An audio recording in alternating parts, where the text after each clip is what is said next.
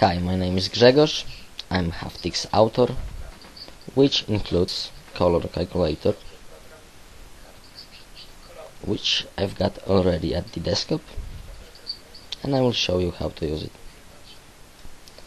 After starting up, the main window will appear, which you can divide for two parts with colors and below mm, a result box.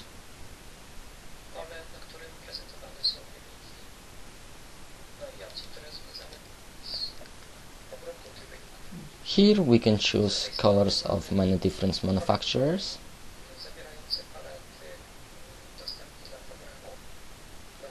Below we have list of that colors.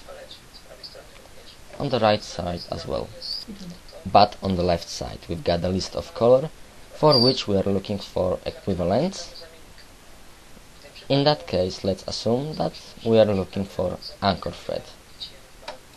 In a while we will be looking for a couple different colors, for example in Ariadna palette. On the left side we are selecting the color thread.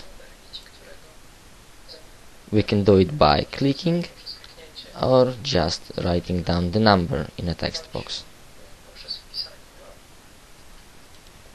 Actually, I've chosen the number which doesn't exist. After writing down the number in a text box and pressing enter button, color is automatically selected above. In that big field below, we can see the selected color. On the right side, we've got four stripes, which includes the names from Ariadna color palette. So the program found four results for Anchor 44. Natomiast użytkownik a nie, Actually program finds four results for each color. User by looking can judge which color is most similar and which result is best for him. Let's assume that color Ariadna 678 is most similar.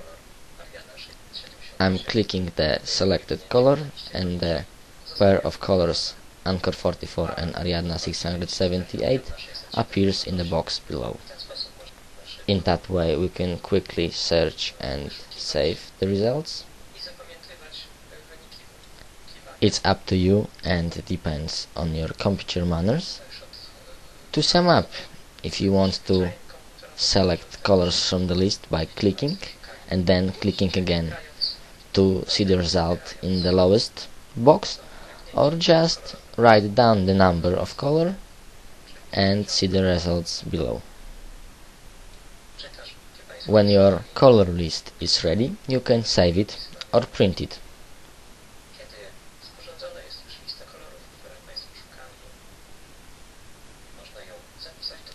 To save, click this one, to print, click that one.